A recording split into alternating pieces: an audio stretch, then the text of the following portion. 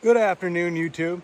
Today I'm here at Schuylkill County and I'm in the search for uh, wild browns and native brooks. And today I'm actually fishing the same creek I did on the first day, but I walked way downstream, uh, over a mile at least. And I'm gonna work my way up because water conditions are very clear right now, so you can spook them easy. Uh, they're high, but it's the water's really clear and we're going simple, just worms and maybe a spinner or two. Uh, and I'm gonna work my way up past the bridge that I first started out in the first video. And maybe I'll even go above there, I don't know. So we'll see what happens.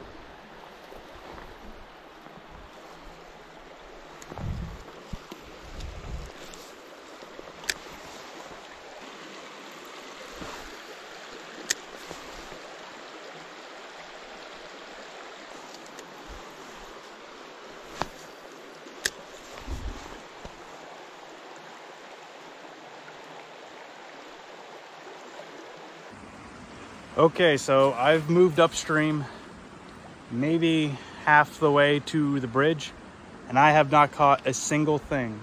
And I've discovered a horrific, uh, a horrific thing that just happened and all the fish are dying in the water. Like I've seen maybe, uh, it's gotta be over a hundred now.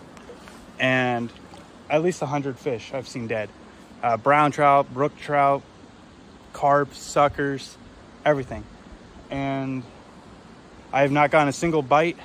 I've seen a couple of live ones and I've seen a couple like in the process of dying. So I'm gonna keep going upstream. I'm gonna see uh, where, if there's like a line on where this, because it's obviously a water contamination. Nothing's eating them. Like there's no birds or anything plucking at them. They're all just floating in the water like this. Like just in the spot alone, I could see them floating down the creek. And I'm gonna get a bottle of water, uh, give to the owner. He's gonna get it tested. I'm gonna see where if there's a line where it stops on killing the fish, because he obviously put his own in there. And I'm gonna go up there and see if they're still alive. So I'll keep you guys updated.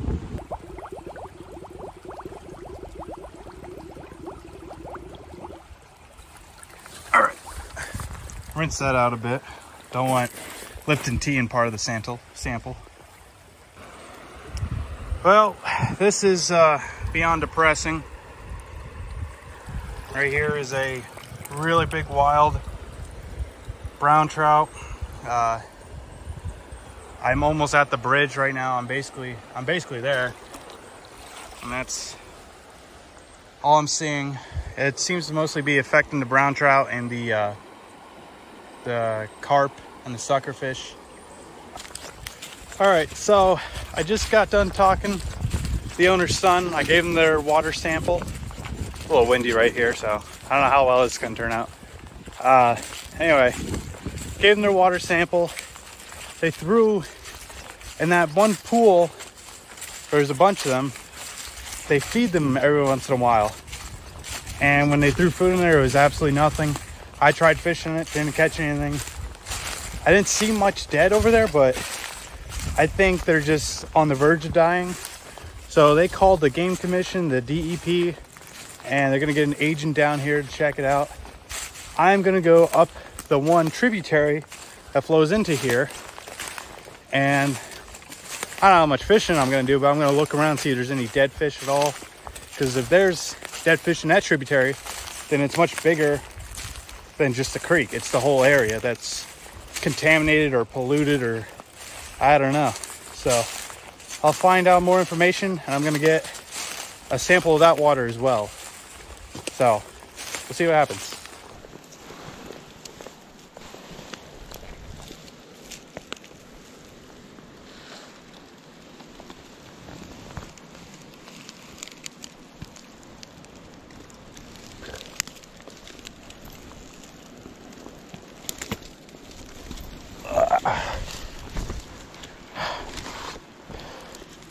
Not sure what kind of turtle this is.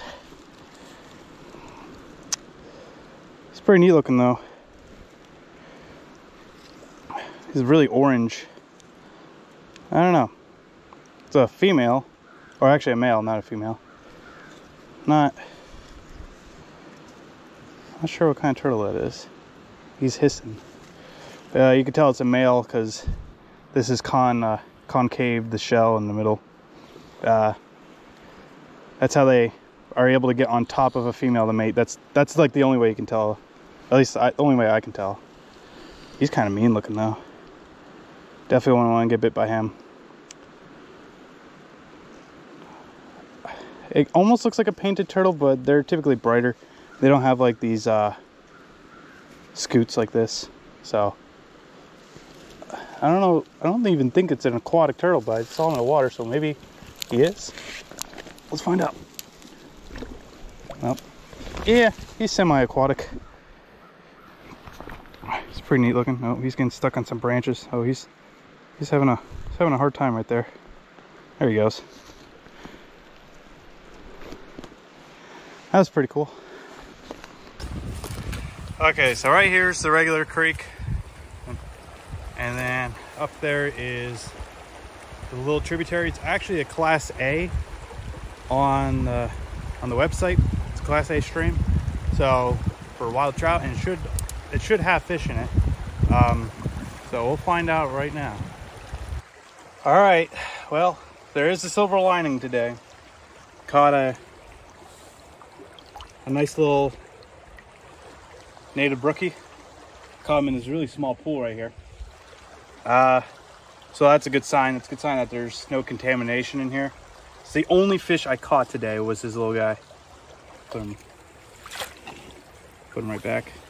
So that's a good sign that the water's fine here. So it's just strictly the main branch. Um, I'm gonna go film a little bit of me fishing this creek because I've never fished it before. Uh, see how that turns out. And yeah, I'll give you guys an update.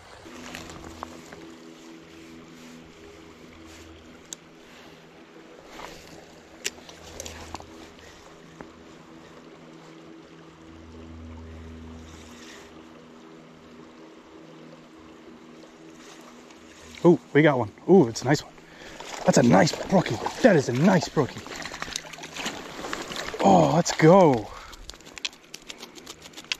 Wow. I didn't think we'd get that one that big. With those hands. All right. Try to give you guys a good angle on how big this fish is. I think it's a male. Oh, his teeth are stuck on the net. Oh my gosh. Get off. All right. That's a that's a big, big native brook. Put him right back. There he goes. I don't know if you can see that. That's a big brook trout. All right, let's see if we can get another one. All right, as I was rigging up my line again, put another worm on, I just saw another fish jump. So we'll see if we get another one. It's hard to get multiple in the same spot. Ooh, I see that, and I have one. Oh, it came off. That was a nice one too.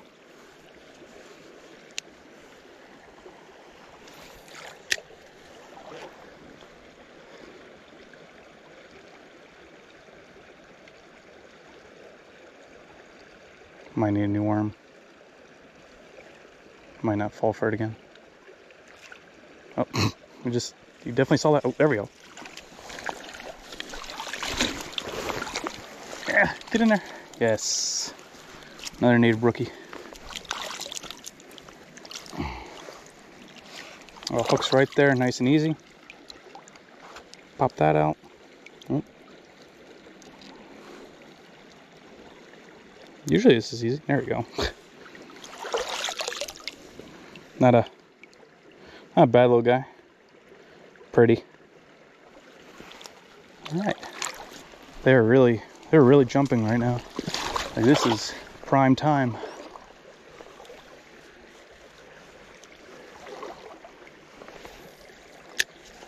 Cast it straight up there and let it float down. Seems to be the method right now. Oh, had a hit. Missed one. Got him. Oh, another big one. Another big one. Oh, this is a really big one. Oh, please be a brook. What is that? Oh, big brown. Big wild brown. Big wild brown. Oh, this is awesome. This is a great little spot right here. So pretty too, nice and open. Just getting the idea on how big this wild brown is. It's bigger than that brook I caught.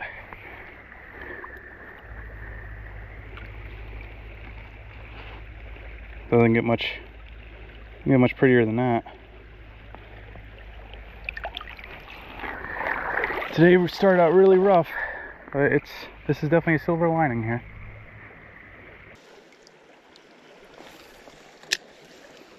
Might not even need to go up much further. They all seem to be right here.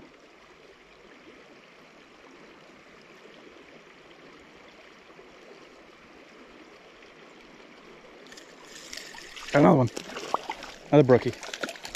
Really colorful too. Let's get him in there. Yes.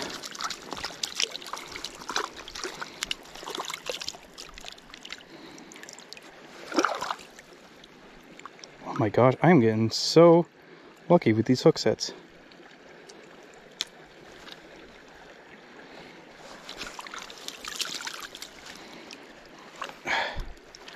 Every single one is just right on the edge of the lip, right where you want it. Look at that. That's a really, really nice brookie. Really colorful. Surely we can't catch another one. There's just no way.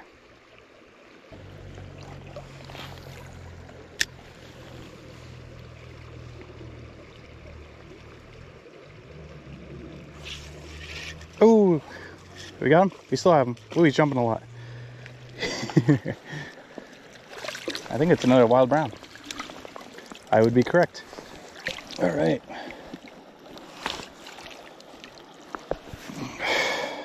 Nothing too big on this guy but still pretty nonetheless. Throw him in. There he goes. I didn't realize how deep it was here.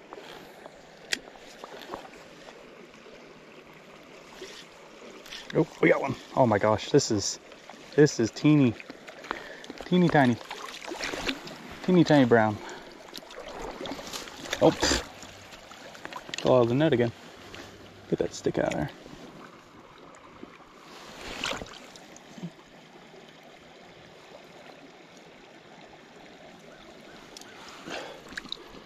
Surprised he doesn't fit through the holes of the net. Okay, so I didn't catch much more after that wild brown. Um, I ended up having to cut it short upstream because uh, the DEP agent showed up. So we went over uh, over all the dead fish and the photos and videos I took of it, and got them on the task of figuring out what's wrong with it. Uh, speculation that it's it's a, some kind of plant up upstream, dumping something in the water. That that seems like to be the only case that could possibly be. Um, they're gonna let us know more information as it comes, and I'll let you guys know more in future videos. But unfortunately, I only got a little bit of actual fishing in this video. But I still thought I would upload it because it's pretty important to show things like that that happens when you fish. Um, unfortunately, this was like a much bigger issue. Like an entire ecosystem just collapsed. I, it happened overnight. I I went fishing there and took that one video only a few weeks ago, and everything was totally fine. And so to just see that entire ecosystem collapse in that quick a time is really heartbreaking. Uh, it could recover if they do fix the problem, but who knows if they can. And uh, yeah, that's pretty much it. So I hope you guys enjoyed this video, and I'll see you guys in the next one.